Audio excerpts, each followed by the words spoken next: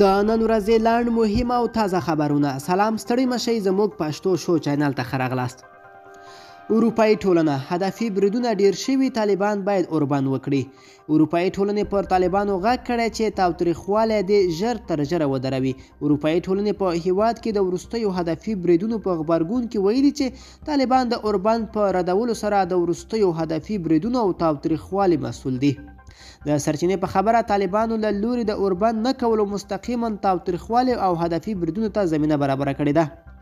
اروپايي ټولنې دغه راز ویلي چې په افغانستان کې باید د خبریالانو، مېرمنو او مدني فعالینو وژل ودرول شي، دغه ټولنې همداراز ژر تر ژره تاوتریخوالی او جګړه د درېدو غوښتنه هم کړې ده. قطري او پاکستاني پوځي چارواکو پر افغان سوله خبرې کړي. پاکستاني رسنۍ وايي چې د قطر د ځمکنیو ځواکونو قوماندان تورن جنرال سعید حسن د پاکستان د پوځ له مشر قمر جاوید باجه سره کتلې او پر افغان سوله یې خبرې اترې کړې دي. هندوستان د چابهار بندر لومړی کلیزه نمانځي، هند نن په یوه انلاین غونډه کې د چابهار بندر لومړي کلیزه نمانځي چې د هند، افغانستان، ارمنستان، ایران، قزاقستان، روسیه او ازبکستان چارواکي به پکې ګډون وکړي. هندي چارواکي وايي چې د یاد بندر له لارې په سیمه کې له افغان دولت سره همکاري زیاته شوې او هڅه کوي چې د منځني اسیا نورو هېوادونو سره هم خپلې اړیکې پراخې کړي. د افغانستان د سوداګرۍ وزارت ویاند فواد احمدي بیا وایي چې چابهار بندر افغانستان د اوبو له لارې له د نورو نړۍ له هېوادونو سره وصل کړی او د یاد بندر له جوړېدو وروسته د افغانستان د سوداګرۍ پر پراختیا کې مثبت بدلون راغلی دی.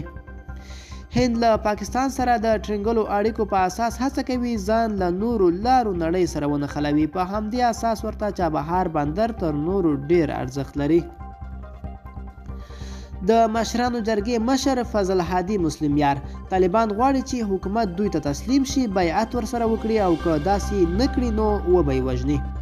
نوموړي چې د عبدالعلي مزاري د وژل کېدو شپږویشتم تلین مانځن غونډه کې یې وینا کوله وویل چې سیاسون باید له د یو بل په منلو سره روان وضعیت ته تغیر ورکړي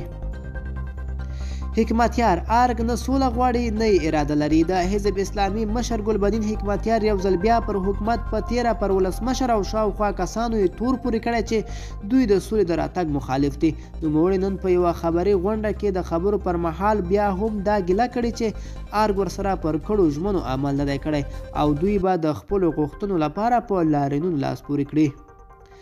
همداراز د سولې په اړه یې ویلي چې ارګ د سولې په لار کې خنډونه جوړوي د سولې اراده نه لري او د سولې غوښتونکي هم نه دي حکمتیار همدا راز افغان حکومت فاسد وباله او په خبره یې فساد پکې اوج ته رسېدلی دی او په دې په اداراتو کې د فساد ختمول اوس یو ناشونی کار دی. نوموړي دا هم ویلي چې د مګړې په دوحه کې د سولې روان بهیر ناکام دی او باید په کوم بل هېواد کې د سولې خبرې پیل کړای شي.